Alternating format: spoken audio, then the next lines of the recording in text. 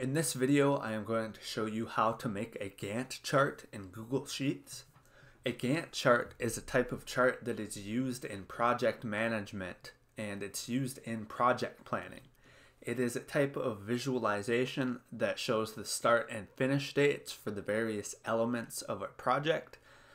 It has a list of tasks and bars that represent the progress of each task. And so that is what I will be creating in this video. There's two different ways that I'm going to show for doing this.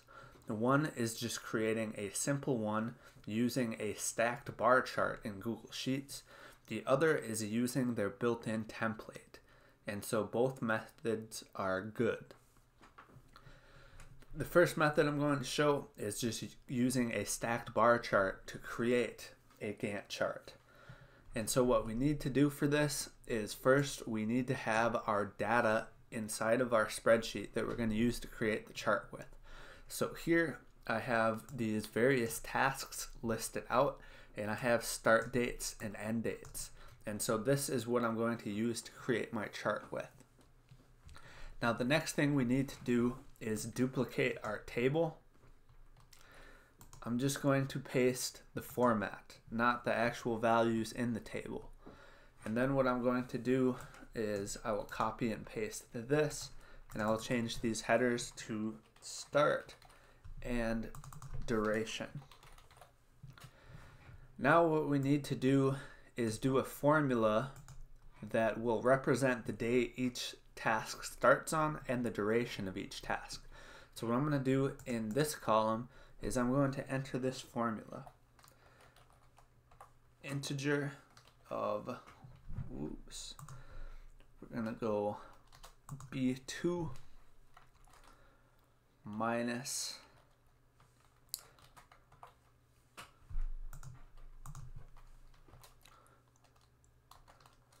we're going to go cell B2 again. This time I'm going to press F4 on my keyboard to lock this in place.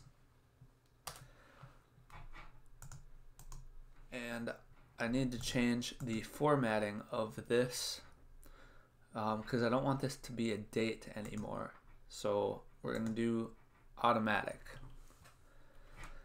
Then what I'm going to do is I'm going to copy this formula and paste it down my spreadsheet. So this is going to be the day that each task starts on. That is what this formula is calculating.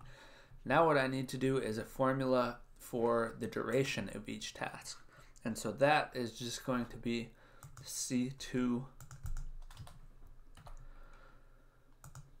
minus B2.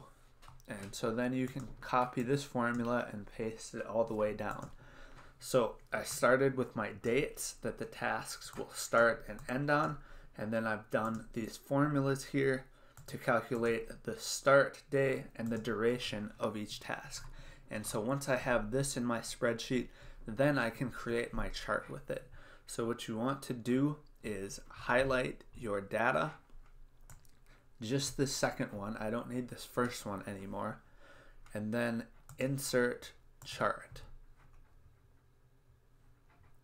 So sometimes it's already going to be on a stacked bar chart. Other times you will have to select it from the options here. Now once we have our stacked bar chart created, we are going to want to customize it. So the first thing that I want to do is come to the series section and I'm going to do this first series, start. What I want to do is I want these blue lines to disappear basically because they don't need to be here in this chart. And so what you can do is you can either set the color to white or you can set the opacity to 0%. And so I've done that and now um, the chart looks a little more like I want it to. Now the next thing I want to do is I want to remove this legend here so what I'm going to do is navigate to the legend section and select none. And then I want to rename my chart. So what I'm going to do is come to chart and access titles. Instead of start and duration, I'll just change that to project schedule. And that is how to create a basic Gantt chart in Google Sheets. So you can see this one is very simple it has a bar that represents the, the start date as well as the duration of each task and then when the next one starts. So this is creating your own very basic Gantt chart using a stacked bar chart. The other option, um, which I said earlier, was using the built-in template. And so that is what I'm going to show now. So if you prefer to use the built-in template in Google Sheets to create a Gantt chart, what you want to do is open your spreadsheet and then we're going to go into the top here, File, New, From Template Gallery. And so this is going to open up all of the different templates that you can use.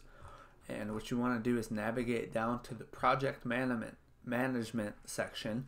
And here you will find an option for Gantt chart. And so you can just select this and it will open up the Gantt chart template. So this one has a lot more columns and a lot more data than the one we have created. Um, so if you want one that has more information and is a little bit more complex, this is a good option. Um, so you have a lot of different ways you can customize this one.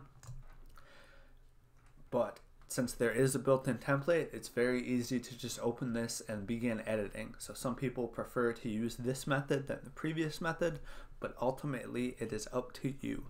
So that is it for this video. As always, if you have any questions, just let me know in the comments. Thank you for watching the video. If you haven't already, make sure to hit the subscribe button. If you have any questions or content suggestions, just let me know in the comments and I'll try my best to answer everyone.